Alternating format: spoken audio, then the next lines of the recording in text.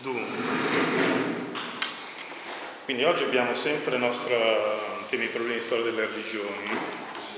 La prossima settimana invece facciamo la, la lezione speciale per la festa della donna.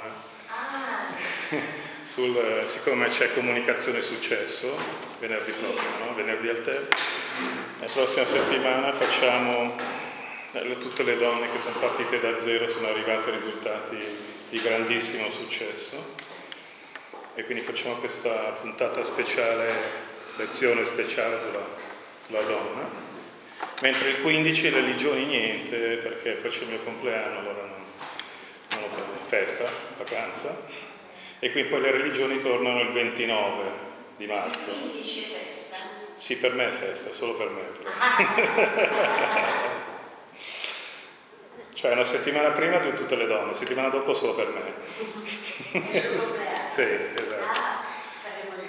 Ecco, il 22 come sempre comunicazione, quindi 8 comunicazione successo, oggi le religioni, l'8 comunicazione successo, lezione speciale sulle donne, 15 niente, 22 di nuovo comunicazione successo, le religioni torna al 29, quindi da, dal primo va a finire il 29.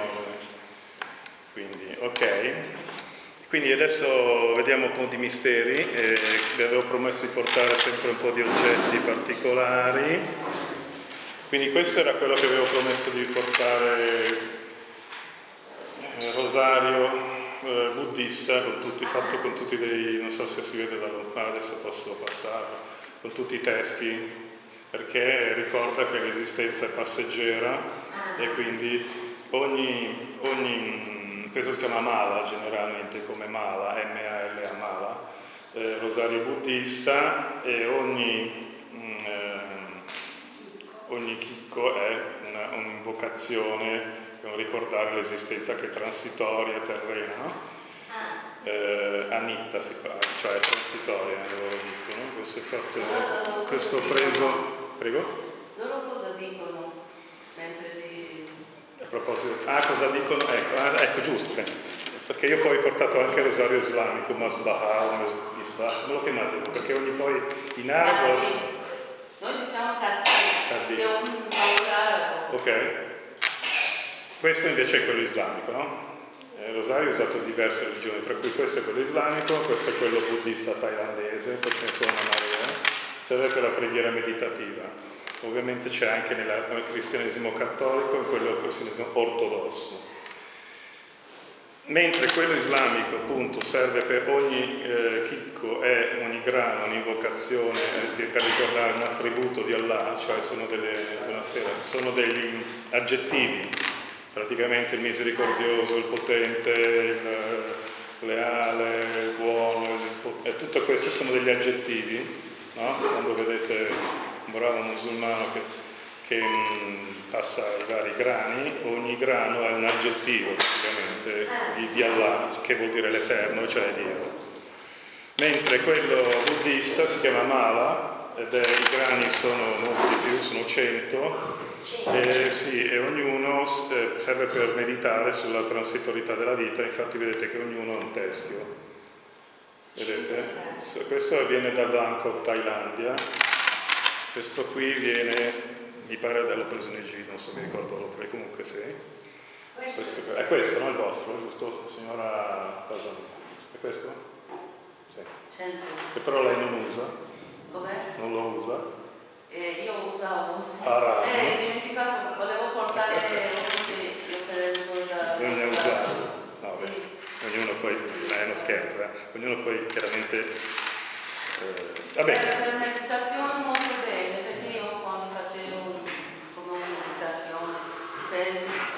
stessa, Dio e così. Uh-huh. Sì, quindi se andate in un paese medio orientale o anche qua, qualcuno si può vedere che ci sono uomini che, beh anche donne, ho visto soprattutto uomini che passano questi grani e ogni grano ha una, dicevo, una, un attributo, una, una, di Allah, il potente, misericordioso, e li sanno tutti in arabo uno per uno, e quindi se...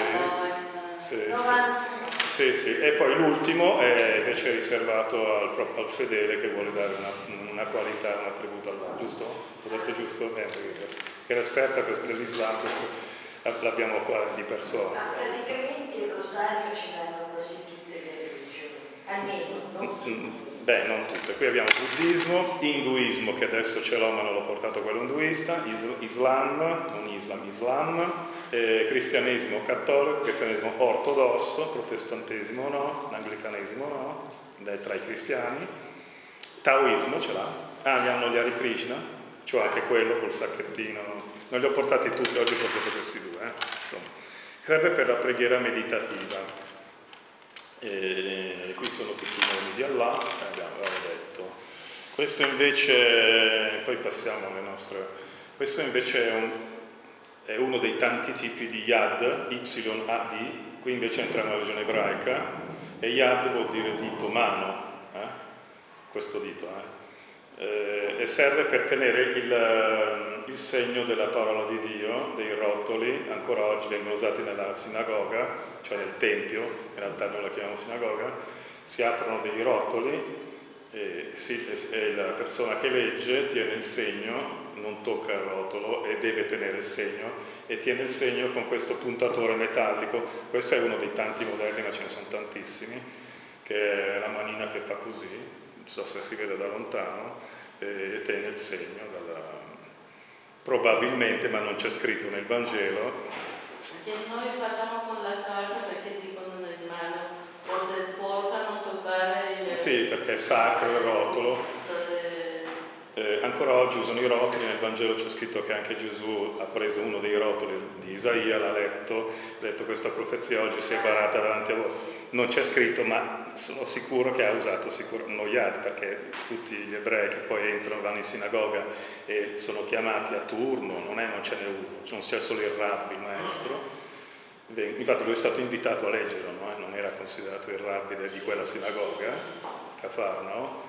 Eh, prende, ah, non c'è scritto, ma perché per loro è scontato, non l'hanno neanche, avrà usato sicuramente un Oyad per leggere, anzi da destra a sinistra è scritto l'ebraico, non così, da destra a sinistra in ebraico ha tenuto il segno con questo oggetto. Sono dei rotoli che si, si prendono da un armadio che sotto un, un velluto che si chiama paroquette eh, vengono presi e messi sul leggio, aperti e poi si tiene il segno, l'ebraico si, si, come l'arabo è da destra a sinistra e, si, e, poi tengono il segno, lui sicuramente avrà fatto così, ha letto e dopo ha chiuso. All'inizio la scrittura greca era apostrofeca, quindi si scriveva a destra. Mm. Senza vocali, tra l'altro, l'ebraico. senso è sempre così. Mm. E tra l'altro le vocali sacre di Yahweh sono L'equivalente per noi si dovrebbe scrivere YHWH perché non hanno le vocali ed è il verbo eh, io sono. Qual è il tuo nome? No? Io, io, mi chiamo io sono, cioè io sono l'essere in assoluto.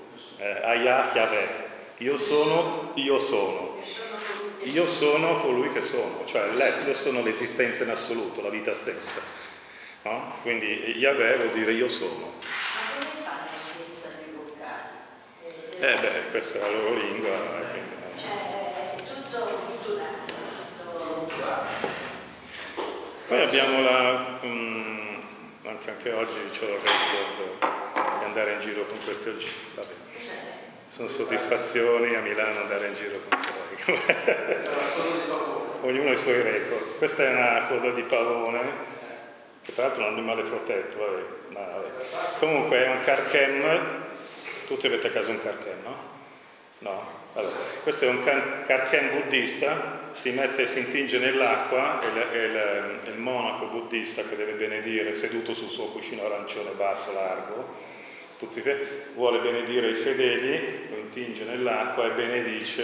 Eh? È una specie di aspersorio, quello che viene usato anche dai preti cattolici, però questo è un aspersorio buddista, fatto con la coda di pavone. No? Con la punta benedice o con eh, no, lo intinge qua e poi butta così. No, no, non, no, non questa, questa parte. E poi l'ultimo che vi avevo detto ma non vi avevo avvisato, è, eh, cioè non l'avevo portato, era questo, ve l'ho ricordato, avevo detto a voce. sono le, perché la signora Patrina, anche Pasanè credo non l'aveva visto, ogni tanto riprendiamo delle cose rapidamente, eh, perché questo è uno dei mezzi per diffondere la preghiera nel- nell'aria, insieme con la ruota, che poi vi porterò anche in un secondo momento, perché no- non tutto oggi. Ecco. E queste sventolano, eh, questo è buddismo, invece è buddismo tibetano. No? C'è su una preghiera scritta in tibetano, voi sapete tutti il tibetano, no? Sì. Non sapete? Ah, vabbè. Comunque c'è una preghiera scritta in tibetano, si chiamano in italiano, non so quanti lo chiamano in, in italiano, comunque cavalli del vento, ok? Perché c'è su un cavallo e qui c'è la preghiera tutta scritta in tibetano.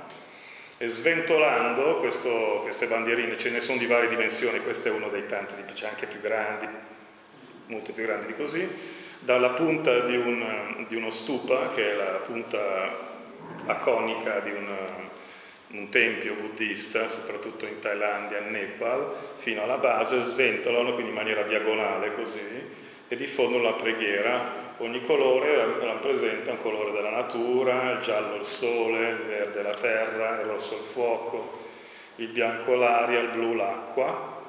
E si trovano anche sull'Himalaya, ci sono dei templi anche nell'Himalaya, siete, no, non siete stati, e sventolando eh, diffondono questa preghiera. Sono solo Sono solo questi qua, sì.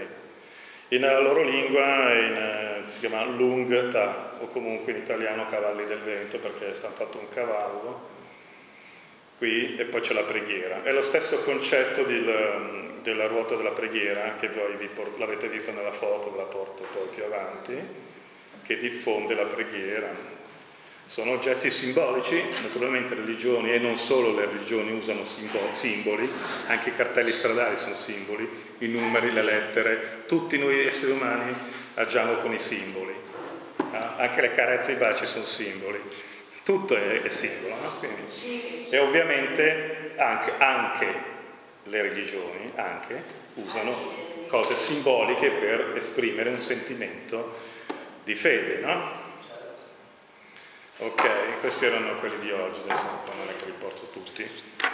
Mentre per quanto riguarda i misteri del soprannaturale, anche senza occhiali possiamo vedere, allora ce n'è, qui c'è un universo sconfinato. Allora partiamo dal discorso al di là. Qualcuno, qualcuna di voi eh, aveva già fatto questo, mi pare? La signora? misteri del Sì, soprannaturale. no? È nuovo per tutti questo? Perché qui come funziona, sapete, ogni tre, cioè magari uno arriva un anno, l'altro non arriva un anno, una lezione, cioè ogni tanto si ri- ripeto delle cose perché... Eh, ma. Ma io non mi ricordo Vabbè, comunque, allora, la maggioranza di voi, tutti quanto pare, eh, perché nessuno ha detto no, io lo ho già fatto, eh, allora lo riprendo, per me chiaramente lo rifaccio e quindi, ecco, allora, quindi vediamo un po'. Quindi i misteri sono tanti, sono di là, gli angeli, Satana, mistero del male in generale, prima di arrivare al demonio, cioè il male chiaramente tocca a tutti, anche chi è ateo, chi non è credente, ma che cos'è, che mistero è questo? Anche quello è un mistero, no? Miracoli, tutto quello che vi sto dicendo riguarda praticamente tutte le religioni. Non, è- non sto parlando qui di cristianesimo e tantomeno del solo del ramo cattolico. Queste cose che qui vediamo riguardano praticamente tutte le religioni. Tutte le religioni infatti credono in una vita ultraterrena, perché le uniche persone che non credono che ci sia qualche cosa dopo la morte sono le persone non credenti che hanno ovviamente il diritto di non credere, però sto dicendo chi è. Ecco. Percentualmente, vi ricordo, e senza fare giudizi, ma fa riflettere, no?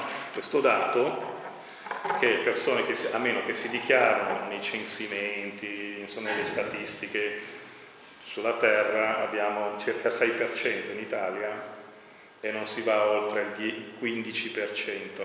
Intendo dire le persone che dichiarano che sono convintissime, non si sa bene come, ma sono convinte che non ci sia niente dopo una morte terrena, che non esista un'anima, che non esista Dio degli dei, ok? A questo livello di credenza, perché anche quella è una credenza, non può 10-15% nel mondo, 6% soltanto in Italia. Ma anche perché ho letto su alcuni libri che le persone che non credono in niente, sì. quando arriva che mancano una settimana, 15 giorni a morire, all'improvviso cominciano a pregare, tante persone. Quindi nella vita quando stai bene è anche comodo dire non credo niente. Eh quando stai male, che sai che sei arrivato alla capolinea, forse incomincerai una discussione sulla tua sicurezza. Mi è capitato spesso sì. che c'è stata quasi una confessione della- sì, eh, conversione, ma con una Sì. malattia importante, con un cammino doloroso, e ci sono stati dei cambiamenti. Sì, perché è difficile per un essere umano dire, non c'è più. addirittura il, il funerale laico che hanno fatto a Dario Fo, che era non credente, poi hanno detto, ah ti rivedremo, oh, tu, tu sei sempre, cioè qui è chiaro che è difficilissimo dirsi, no, va, finito, tanti saluti, eh, non c'è più niente. Certo, delle persone umane che hanno fatto cose belle a tutti i livelli rimane un ricordo sulla terra, ecco. Questo è, be- è proprio importante avere successo anche per lasciare agli altri, dice sono passato da sta terra, qualcosa ho fatto, insomma. eh. Quindi, eh, cioè, secondo me è un dovere, non è, non è una mania di grandezza, cioè, noi abbiamo il dovere di lasciare qualcosa, qualche minimo segno, almeno, cioè minimo, veramente dovremmo pensare in grande, non in mania di grandezza, ma perché vogliamo raggiungere bei risultati. Poi comunque lasciare un segno a, tutti i livelli, questo è, secondo me è doveroso. Quindi se non c'è niente di noi su Google sono guai, secondo me. Ma per quello, sì, secondo me qualcuno ha anche un atteggiamento non di superiorità, di, Sì. eh, come dire, eh, Mm. Dell'intellettuale ce ne sono alcuni che va oltre le righe, che è, non faccio politica, ma in un certo modo deve avere l'atteggiamento anche di non credere. Sì. Poi peraltro si occupa anche di tante cose, ma, ma ce ne sono alcuni che forse sono convinti, altri io penso che siano un po' un atteggiamento... Sì, bisogna non confondere che le persone agnostiche che non prendono posizione. Certo. no? Quindi l'anche di solito è un atto razionalista. Abbiamo detto che il razionalismo è tutto ragione e niente fede. Mentre il contrario sono due estremismi, senza offendere nessuno. eh. Perché la- l'estremo opposto anche, insomma, è tutto fede e niente ragione. No? Cioè, l'equilibrio, insomma, secondo me, e non so- solo secondo me, giusto, sarebbe equilibrio di fede e ragione, ma non soltanto nella fede religiosa, la vita è fede e ragione. Vi ricordate che abbiamo detto che tra le cose più belle di questo mondo non si basano sulla ragione. L'amore non è qualcosa di razionale, Certo. ma eh, eh, certamente è importante fa andare avanti il mondo, no? E ovviamente questo riguarda anche chi non è credente. Quindi in realtà si sconfessa facilmente una persona che dice ah io non credo in niente, però probabilmente c'è dietro un problema anche, senza offesa, eh, un po' psicologico, perché niente è impossibile non avere fiducia in niente. Fiducia vuol dire non avere l'evidenza, ovviamente, se no si chiama evidenza. Quindi che, che adesso è ancora pomeriggio col sole, grazie a Dio, noi possiamo vederlo e non tutti, è un'evidenza. Che io abbia un'anima o che la persona mi vuole bene, che adesso non è qui, questa è fiducia, io non ho una, una evidenza matematica.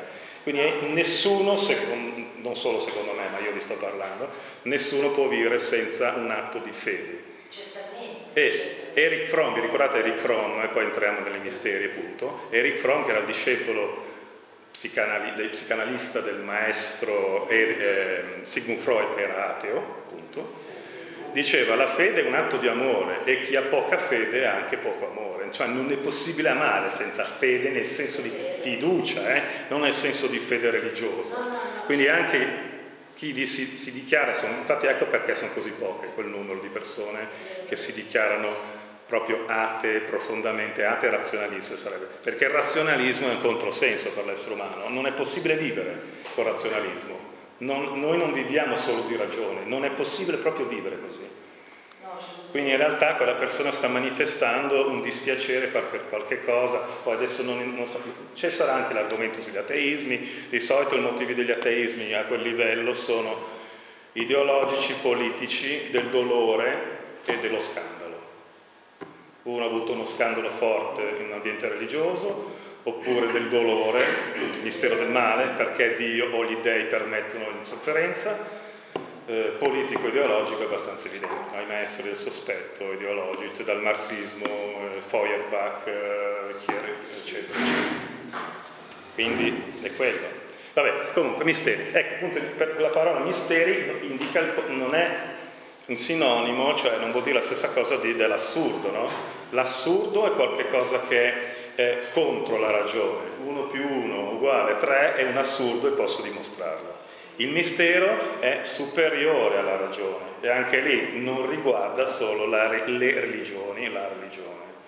Noi viviamo di, anche di mistero, no? Pensate che addirittura, questo l'avevamo già fatto però, però mi ha colpito, ve lo ricordo, in una scienza esatta, qual è la scienza? Ditemi una scienza, il nome di una scienza esatta, assoluta. La matematica, addirittura, ecco, vi è in mente subito, quindi per antonomia. La matematica è una scienza esatta a cose credute e non dimostrate. Le cose credute e dimostrate si chiamano teoremi, come quello di Pitagora, vado alla lavagna e lo dimostro. Ma nella matematica però di solito, ecco perché queste, queste, questi livelli non si fa nelle superiori, ma si fa chi va a studiare matematica all'università e che sa che esistono le congetture matematiche. Le congetture matematiche sono 40, non è una, 40 di cose credute in matematica, cioè uno, allora uno dovrebbe dire no, allora non ci credo, invece ci credono, ma nessuno è mai riuscito a dimostrare, per, tra cui la, tra il, il fatto che un numero pari sembra la somma di due numeri dispari, è una, è una, delle 40 congetture, nessuno è mai riuscito a dimostrarlo, ma è dato per vera, è, da, è, creduta vera. È un atto di fede, tra virgolette, non fede religiosa, no? Pensate addirittura in matematica c'è l'atto di fede, tra virgolette. Allora, il mistero è qualcosa che supera la ragione, che magari non è conoscibile adesso o potrebbe essere conoscibile secondo piano. È su, proprio su un altro piano però il mistero, no? Allora, qui entriamo perché veramente se no andiamo eh no, qui andiamo, ecco, avanti, non indietro. Sì. Non so se si vede meglio spegnendo, tanto la mia faccia si vede lo stesso, non è che... Ecco, grazie signor Pasanè. Ecco, allora, sì. Allora, qui vedete, è un po' piccolino, comunque mh, quello che abbiamo già detto voce prima, la fede nell'esistenza di una vita ultraterrena è presente in tutte le religioni, no altrimenti sarebbe l'ateismo. Nella Bibbia appare prima la fede nello Sheol, il regno dei morti, successivamente la speranza nella risurrezione, il concetto di immortalità dell'anima. Quindi anche gli ebrei no? Credo, credono, credevano in un concetto di risurrezione del corpo. Uno si chiede, ma che cos'è la risurrezione? Il corpo, perché l'anima è immortale, no? Anche Platone lo diceva. È ovvio che chi, cosa vuol dire che noi risorgeremo con un corpo, no? Cristo, il cristianesimo, è risorto con un corpo. Non era uno spirito, tant'è vero che dice non sono un fantasma, avevano paura, è un fantasma, no, venite toccatemi. Ha mangiato davanti a loro dopo la risurrezione, così è scritto nel Vangelo. Quindi non era un fantasma, era un corpo risorto, un corpo che non ha più dei limiti terreni di fatica, dolore, stanchezza, ma ha un concetto di materialità che lo distingue dagli puri spiriti, cioè gli angeli.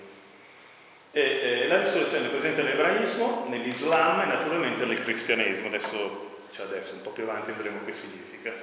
Cristo risorto promesso, ecco nel cristianesimo, religione di maggioranza qui in Occidente, la risurrezione di ognuno di noi, no? Eh, quindi non solo lui è risorto, il mistero, insomma, uno dopo tre giorni non è che cambia un granché di aspetto, io tra tre giorni sono lo stesso, anche se cioè, al massimo se non faccio la barba un po' più lunga. Ma cosa, uno come risorge? Se muore poverino, bambino un anno, un altro muore a 40 anni, l'altro 80, 90, 100, come, con quale aspetto? Perché noi cambiamo, non subito, ma durante gli anni. Quindi anche quella è una domanda che anche questo hanno fatto ipotesi di fede perché non c'è una risposta. No? Fuori dalle religioni monoteiste, cioè che credono un solo Dio, anche lo zoroastrismo, che poverino non lo citiamo mai perché ormai sono rimasti pochissimi, in realtà sono quattro, anche gli zoroastriani una religione monoteista, Ura Mazda, eh, in India, crede che la nuova vita ultraterrena faccia vivere spogli mortali del defunto. Quindi questa cosa è comune ebrei, è presente anche nell'Islam, è presente nel cristianesimo, è presente nello zoroastrismo. Probabilmente verrà come un corpo in cui ci riconosciamo, anche se rimane il mistero, eh, poi ci sono proprio delle ipotesi teologiche, eh, ma senza un'età definita e senza i limiti terreni della materia. La fede cristiana è basata sulla resurrezione di Cristo. Chi vive e crede in me, anche se muore, vivrà e io lo risusciterò nell'ultimo giorno. Cioè questa è una promessa che ovviamente chi abbraccia la fede cristiana crede, perché Cristo ha fatto questa promessa, quindi non soltanto lui è risorto, ma tutti gli esseri umani risorgeremo con un, una dimensione materiale. Dicevano cosa me ne faccio dimensione materiale in un al di là? Probabilmente per distinguerci da, dagli dei puri spiriti, che un corpo non l'hanno mai avuto, mai ce l'avranno, per una completezza, no? I, I fedeli ortodossi e anche quelli cattolici credono che l'unico essere umano puramente umano, perché Gesù è anche, anche divino per i cristiani, che è una donna, la Madonna, è stata assunta in cielo con il suo corpo di donna. Cioè è una donna completa, non è uno puro spirito, è una donna completa nella dimensione paradisiaca, ultraterrena. Mentre io naturalmente parlo in concetti di tempo perché non, non ho mai provato, non ho fretta a essere fuori dal tempo, tutte le altre donne, anche gli uomini, a te, tra virgolette, aspettano una completezza con la risurrezione finale. L'unica completa, a parte Gesù che è anche Dio, eh, la Madonna, che è in cielo anima e corpo. Infatti i fedeli cattolici e anche quelli ortodossi con la dormizione di Maria e i fedeli cattolici con l'assunzione di Maria in cielo credono che la Madonna sia in cielo anima e corpo. Cioè non è uno spirito, è una donna completa, mentre le altre donne che, che, muoiono in questo momento, cioè tra virgolette in questo momento perché il tempo non ci non sono complete. Ma questo da quanto? Da, quando è che è stata? Da quanto tempo esiste questa? Il dogma dell'assunzione di Maria in cielo. No, Maria in cielo è, quindi entriamo nel, alla fine dell'Ottocento, 1858, sì. Quindi abbiamo... Quindi è un dogma. È un, uno dei quattro dogmi mariani, sì è stato, che è stato detto dal Papa. Promulgato, sì, per i cattolici, ma anche gli ortodossi credono alla dormizione di Maria. la. No, non, non, si, non, c'era, non, c'era, ufficialmente dichiarato questo dogma. Mm. Posso dire una cosa? Prego. Io sono religiosa, mi dico le preghiere, la sì. chiesa, eccetera, però faccio fatica a, a, a pensare a Dio. Mm Gesù Cristo sappiamo chi, chi è stato, ma Dio per me è la natura, mm-hmm. è la bellezza, è la bontà, è l'onestà, poi per me è Dio. Sì. Se no non so, saprei come... Forse okay. sbaglio sicuramente, però... No, sbaglio, ognuno è libero di credere cosa vuole. Dio che è, la natura. Ecco, eh, posso dire che si avvicina questa sua credenza che io prendo per buona, me la sta dicendo, si avvicina tra le fedi, anche se non è che uno per forza avere un'etichetta.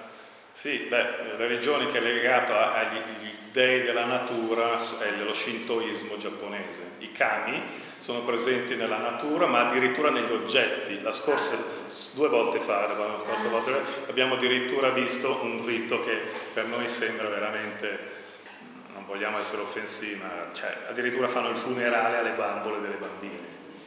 Perché loro pensano, cioè veramente si chiama Kuyo, Kuyo in Giappone, eh, perché loro pensano che gli oggetti contengono uno spirito dentro e quindi vanno fatto. Eh, quindi, beh, comunque, eh, alt- altrimenti entriamo nella... Mh, mm, sì, eh, sì, nelle religioni ufficiali è quello, poi altrimenti entriamo nelle religioni della natura, allora abbiamo anche eh, Wicca, abbiamo la New Age, ma qui usciamo dalle religioni però.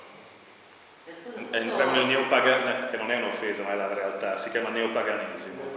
Neopaganesimo, non è, sembra una cosa brutta, no, giusto, si chiama neopaganesimo con tutti i rami di Wicca, che è witchcraft in realtà, poi lì però entriamo nella Wicca e witchcraft in italiano è stregoneria, eh? senza nessun giudizio morale, e poi abbiamo le religioni del New Age. In realtà non c'è più religione lì perché, è, perché l'uomo, l'essere umano non riconosce una divinità, riconosce una specie di panteismo che la divinità è, è tutto, negli oggetti, nella natura. Quindi non so, il suo potrebbe essere una forma di, di neopaganesimo, cioè, che non è un'offesa. Eh? Perché la parola, la parola pagano, tutto riferiva... Sì, pagos, natura, sì. Della, Pagos erano quelli che non vivevano in città, cioè eh, in esatto. città sono nati cristiani. Esatto, l'idea della natura, della campagna. Chi, chi seguiva il cristianesimo esatto. era gente evoluta perché stava in città. Pagos significa fuori, sì. nei paesi, quindi sì. ignorante, quello che ancora adora gli dei, quindi diventa pagano che sta fuori dalla città. Certo. Eh, eh, da lì nasce la parola pagano. Esattamente, gli dei della natura. Comunque per il dogma dell'assunzione siamo un po' più avanti del 1859. È l'ultimo dogma che è stato proclamato. Eh? E quindi siamo, adesso io prima ho dato una data eh, scorretta, siamo un po' più avanti, siamo verso il 1954. Esatto. Sì. Esatto, molto bene. Eh, sì, eh, sono quattro i dogmi, eh, il più recente è proprio questo dell'assunzione. Sì, sì, ma no, no, l'ho corretto. Eh, io volevo aggiungere sì. qualcosa di... Noi abbiamo 12 sante che l'ottigesimo e, e non c'è come Gesù alle fine di 30 anni che aveva un giorno eh, che hanno visto che non c'è, che islamici scie dicono che un giorno arriverà, ma eh, come arriverà? Con, con, con eh, quale tempo? rimasto nelle, nelle atmosfere, tutti i materiali ossidanti, non si può credere che rimane spirito o tutto corpo materiale.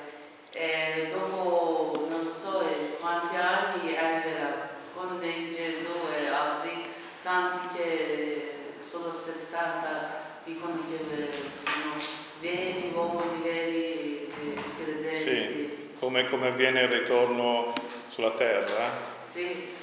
Appunto, adesso vediamo, vediamo secondo le varie religioni, comunque, sì, ripeto, una dimensione, ehm, il cristianesimo non parla di, di una risurrezione per una vita poi sulla terra, comunque viene la risurrezione come eh, il corpo di Cristo in, in cielo, no? quindi nell'aldilà. Eh, nell'Islam eh, sì, la, la, persona sempre, anche lì c'è una risurrezione, una completezza, è la completezza dell'essere umano. Poi dove avviene, adesso lo vediamo. Quindi un altro aspetto interessante di questa frase, la frase di San Girolamo, la tomba vuota è la cura del cristianesimo. No? Tutte le religioni credono una ritribuzione per il bene e il male, il concetto di inferno per il male, presente anche nell'Islam e non solo, e nel cristianesimo. Gli inferi sono presenti anche in molte culture pagane, Solo a partire dall'ebraismo il padrone dell'inferno, Satana, non è più visto come un Dio, ma come creatura di Dio. Nel cattolicesimo, cioè il ramo cattolico del cristianesimo, si introduce il concetto di purgatorio, che è un'esclusiva dei cattolici.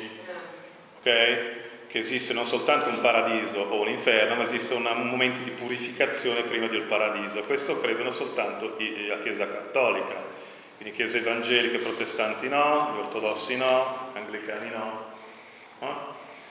E poi vediamo anche perché esiste un inferno secondo la fede cristiana, visto che Dio è considerato buono. Allora, vediamo tutte queste cose, sì. La preghiera per i defunti e le indulgenze possono ridurre questa pena temporanea di purificazione in attesa del paradiso. Pensate che la chiesa più grande del mondo, che è San Pietro in Vaticano, è stata costruita con la vendita delle indulgenze. Le ah, indulgenze cioè a, a seconda di un'offerta in denaro, è l'accorciamento delle pene del purgatorio applicate per un proprio defunto. Naturalmente sono stati fatti degli abusi che Martin Lutero ha messo in luce. C'erano questi predicatori che andavano nei vari villaggi, mettevano su un teatrino di fuoco le... fatto, eh? e poi dicevano guardate se eh, nel momento in cui questa monetina tocca il fondo della cassettina d'argento, tac, un'anima lascia il purgatorio e va in paradiso. E quindi tutti avevano qualcuno di defunto, dice ah io do questa offerta così mio nonno, mio padre, mia sorella va in paradiso. Ok? Con la raccolta di queste offerte è stato, non è qualcosa di polemico che sto dicendo, sto raccontando la storia, ok? Sì, sì, sì. Con l'accordo di queste indulgenze, che cosa sono le indulgenze, è stato costruito poi questa cosa. Certo. È stato fatto una, un abuso, tuttora esistono, secondo la fede cattolica, solo cattolica, le indulgenze, tanto vero che ancora oggi si dice lucrare indulgenza da lucro, che è il denaro, ma non, non, viene più usato il denaro materiale, ma si lucra indulgenza secondo la Chiesa cattolica con la recita del credo, eh, preghiere secondo intenzione del Papa, confessione e comunione sacramentale e si può applicare questa indulgenza a se stessi oppure a un defunto, che è, i cattolici credono, è in purgatorio. Naturalmente non possiamo sapere chi è ancora in purgatorio o chi è già arrivato in paradiso, ma questo riguarda soltanto comunque la fede cattolica. Per i protestanti e gli ortodossi o uno all'inferno o uno in paradiso. Cioè non è che ci sono momenti di purificazione. Per cui eh, la Chiesa Cattolica pensa questo, perché non è che sia a casaccio, perché esiste una preghiera nell'Antico Testamento di Giuda Maccabeo che prega per i defunti, cosa che fa anche la gente normalmente su questa terra. Ora, se uno prega per un defunto è perché pensa che non sia ancora pronto per la beatitudine, perché sennò cosa gli prego a fare per un defunto? Casomai il defunto deve pregare per me, che è in paradiso. Chi prega per i defunti pensa che quella persona ancora non sia beata in paradiso. Ok? Infatti io per esempio non credo in questo e non dico eh, ma, ma, io prego per mia mamma che è defunta. Io, pre- io prego che mia mamma preghi per me, il paradiso, perché per me non esiste purgatorio. Ok? Questa è la mia. E chi crede alla reincarnazione, per ipotesi, allora cosa fa? Che prendi un defunto che magari in questo momento si è reincarnato. Ecco. E magari nella vita che sta vivendo questa preghiera gli può essere solo benefica. Ora, sulla reincarnazione... Non necessariamente pregare per un defunto che è ancora defunto, prego per un defunto che magari è già rinato. E sì. magari io, la mia preghiera in questo momento riesce a spostare un'energia che va al, si trasforma in amore per questa persona che sta vivendo. Certo, infatti adesso... non la conosco in questa vita. Facciamo anche il discorso di reincarnazione adesso. Ehm, nella reincarnazione, i, i, fedeli che credono nell'incarnazione, cioè il buddismo, l'induismo, il taoismo, infatti ci sono le preghiere nei tra virgolette, sì, funerali che sono diversi, abbiamo visto addirittura quello taiwanese con le signorine, vabbè eh, le preghiere sono fatte per istradare il defunto verso la sua, verso la sua beatitudine, che si spera che sia arrivato già la, la, la, l'asana e del nirvana, cioè la liberazione delle rinascite. Nel caso si reincarni c'è tutto, nel buddismo classico Theravada, c'è tutto secondo il codice Pali, uno si reincarna secondo di quello che ha fatto, quindi se ha rubato si reincarna scimmia, si è truffato, si reincarna serpente, se, eccetera. Se ha fatto qualche cosa di particolare si reincarna in qualche modo. E adesso vorrei evitare anche la parte sulla donna perché poi magari si offendono le signore qui, ma uno si reincarna donna perché ha fatto qualche cosa di particolare nella vita precedente. Eh? Quindi, quindi, prima di dire qualche signora, signorina, no, ma io sono buddista, dice, ma cara signora, signorina, eh, lo sa che è donna perché ha fatto qualcosa che non va nella vita precedente. Questo è il, can- il codice Pali del buddismo. Eh. E non lo sa, so, cioè, ah, buddismo, eh, va bene, però uno deve conoscere le cose. Eh, cioè, cioè. Va bene, eh, ci si annoia in paradiso, vabbè, no, ma questa è una deduzione logica, no? Perché io dico, beh, il paradiso, beh, allora perché se, dove, c'è dove, c'è l'amore, anche su sta terra, uno non si annoia, no? Tempo, eh, vorrei che si... Eh. Paradiso c'è l'amore totale, quindi non c'è la noia. Cosa si faccia, cosa è, non sappiamo, ma io posso da questa terra intuire che di sicuramente non c'è la noia, perché se c'è un amore totale, la gente che si ama non si annoia. Ok? La noia è una cosa essere una cosa ultra terrena, la noia è un la noia è una cosa terrena, perché è, viene dall'incompletezza. La noia viene dall'incompletezza, no? quindi nel paradiso c'è un amore totale, un amore perfetto e quindi non può esserci la noia. In cosa poi cosa consiste questo vivere? Non so, ma io posso dire, posso intuire, perché non è che ci sono stati. Cosa non c'è di sicuro. Possiamo intuire cosa non c'è, la noia non c'è. Dice il Signore Dio, ecco io apro i vostri sepolcri, vi risuscito dalle vostre tombe. Questo è l'Antico Testamento, quindi anche gli ebrei credono a una risurrezione del corpo. C'era soltanto una setta ai tempi di Gesù che lo contestava, che erano i Sadducei e che non credevano alla risurrezione. Ma in realtà la fede ebraica, Ezechiele e anche Isaia, ma di nuovo vivranno i tuoi morti, risorgeranno i loro cadaveri. Isaia 26, 19. Quindi anche gli ebrei credono alla risurrezione del corpo. No? Molti di quelli che, e ancora Daniele, profeta Daniele, qui siamo dei profeti maggiori dell'Antico Testamento, molti di quelli che dormono nella polvere della terra si risveglieranno, gli uni alla vita eterna e gli altri alla vergogna per l'infamia eterna. Quindi anche nell'Antico Testamento si parla, anche se non usando i termini paradiso, inferno, di beatitudini di dannazione eterna, vita eterna, vergogna, infamia eterna. Questo è il profeta Daniele, Antico Testamento e quindi ebraismo. No, eh, Nuovo Testamento, eh, da Gesù in poi, non vi meravigliate di questo, perché verrà l'ora in cui tutti coloro che sono nei sepolcri udranno la sua voce, la voce di Dio, e ne usciranno quanti fecero il bene per una risurrezione di vita, e ancora riprende simile no? al profeta Daniele, ma qui è il Vangelo di Giovanni, risurrezione di vita, alias paradiso, e quanti fecero il male per una risurrezione di condanna, alias inferno. Giovanni 5. Chi mangia la mia carne, Giovanni 6,54, dice Gesù Cristo, chi mangia la mia carne e beve il mio sangue ha la vita eterna e io lo risusciterò nell'ultimo giorno. Quel mangiare la carne bere il mio sangue avete già capito da dove cosa si riferisce. È l'Eucaristia, che poi può essere Santa Cena evangelica, quella cattolica, quella ortodossa, quella anglicana, tutti i cristiani hanno l'Eucaristia, che non necessariamente è corpo per i cattolici e gli ortodossi credono che sia veramente corpo divinità, no? la, la, mentre la fede evangelica è, è, simbolicamente è il, riprende l'ultima cena col pane e il vino, no? ma comunque tutti i cristiani hanno quel, bere mm, carne del mio sangue, infatti i primi cristiani erano stati anche accusati di, di essere dei cannibali, cioè come il vostro maestro